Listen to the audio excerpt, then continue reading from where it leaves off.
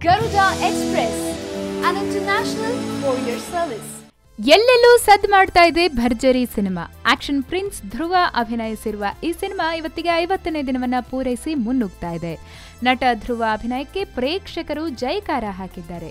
ಇವರು ಮಾಡಿದ ಮೊದಲನೇ ಸಿನಿಮಾ ಅದ್ದೂರಿಯಿಂದಲೇ ಕನ್ನಡ ಅಭಿಮಾನಿಗಳನ್ನು ತಮ್ಮತ್ತ ಸೆಳೆದಿದ್ದು ಭರ್ಜರಿ ಅವರ ಮೂರನೇ ಸಿನಿಮಾವಾಗಿದೆ. ಅವರ ಅಭಿಮಾನಿಗಳು ಚಿತ್ರಕ್ಕೆ ದೊಡ್ಡ ಮಟ್ಟದ ಯಶಸ್ಸನ್ನೇ ತಂದುಕೊಟ್ಟಿದ್ದಾರೆ. ಮಲ್ಟಿಪ್ಲೆಕ್ಸ್ಗಳಲ್ಲಿ ಮಾತ್ರವಲ್ಲದೆ ಬಿ ಹಾಗೂ ಸಿ ಸೆಂಟರ್ಗಳಲ್ಲೂ ಕೂಡ ಪ್ರೇಕ್ಷಕರಿಂದ ಚಿತ್ರಕ್ಕೆ ಸಖತ್ ಪ್ರತಿಕ್ರಿಯೆ ಸಿಕ್ಕಿದೆ. ಬಿಡುಗಡೆಯಾದ ದಿನದಿಂದ ಇಂದಿನವರೆಗೂ ದಾಖಲೆ ಮೊತ್ತದಲ್ಲಿ ಕಲೆಕ್ಷನ್ ಮಾಡ್ತಾ ಇದೆ. ಬಿಡುಗಡೆಯಾದ ಒಂದೇ ವಾರದಲ್ಲಿ ಹಾಕಿದ ಬಂಡವಾಳವನ್ನು ವಾಪಸ್ ಪಡೆದುಕೊಂಡಿದ್ದು, ಇವತ್ತು ದಿನಗಳಿಗೆ ಅರವತ್ತೊಂಬತ್ತು ಕೋಟಿ ಗಳಿಕೆ ಮಾಡಿದೆ ಎಂಬ ಸುದ್ದಿ ಗಾಂಧಿನಗರದಲ್ಲಿ ಹರಿದಾಡ್ತಾ ಇದೆ. ಸಾಕಷ್ಟು ಕಾರಣಗಳಿಂದ ಭರ್ಜರಿ ಸಿನಿಮಾ ತಡವಾಗಿ ಬಂದಿದ್ರೂ ಕೂಡ ಈಗಿನ ಜನರೇಷನ್ಗೆ ತಕ್ಕಂತೆ ಸಿನಿಮಾ ಇರೋದ್ರಿಂದ ಪ್ರೇಕ್ಷಕರು ಚಿತ್ರವನ್ನ ಇಷ್ಟಪಡ್ತಾ ಇದ್ದಾರೆ. ರಾಜ್ಯದ ಒಂದೂರ ಇಪ್ಪತ್ತೊಂಬತ್ತು ಸೆಂಟರ್ಗಳಲ್ಲಿ ಐವತ್ತು ದಿನಗಳನ್ನು ಪೂರೈಸಿದೆ.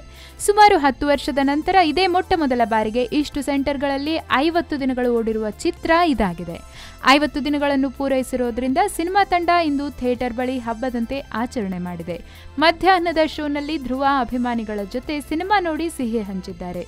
ಅಭಿಮಾನಿಗಳು ಖುಷಿಗಾಗಿ ರಕ್ತದಾನ, ಅನ್ನದಾನ ಮಾಡುವುದಕ್ಕೂ ಸಿದ್ಧತೆ ಮಾಡಿಕೊಂಡಿದ್ದಾರೆ.